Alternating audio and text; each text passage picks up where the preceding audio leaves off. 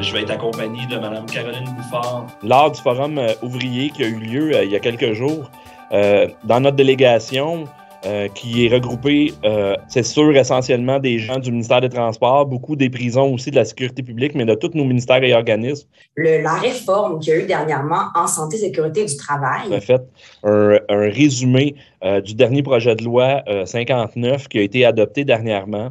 Également, on a parlé avec euh, notre conseiller, M. Guillaume Maheu, du dossier APSST, euh, c'est notre euh, nouvelle application euh, où est-ce que les gens peuvent aller sur euh, les téléphones intelligents pour pouvoir faire de la recherche par rapport à la santé et sécurité. Ben, même si on a coffret de tir, ça ne veut pas dire que les personnes vont aller relire le commentaire. Donc, on a aussi euh, discuté le dossier de la étiquette. Hein, vous le savez, c'est rendu à la mode de vouloir se, se donner son opinion sur nos réseaux sociaux.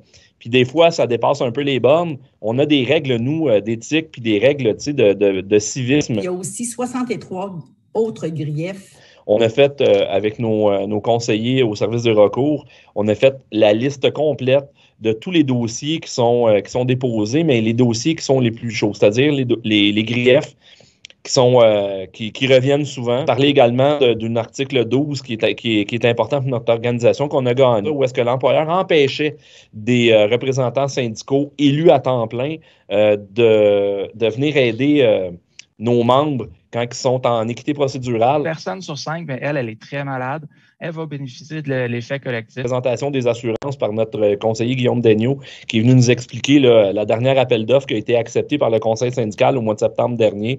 On a également euh, parlé de la sous-traitance, un dossier qui est quand même assez chaud du côté des ouvriers et ouvrières. On a expliqué un peu ce qu'on attendait d'eux sur le terrain pour pouvoir euh, avoir des bons dossiers pour pouvoir les dénoncer médiatiquement. Puis euh, c'est un grief. On se voit en juin prochain. je vous souhaite vous souhaite de joyeuses fêtes et on se voit en 2022.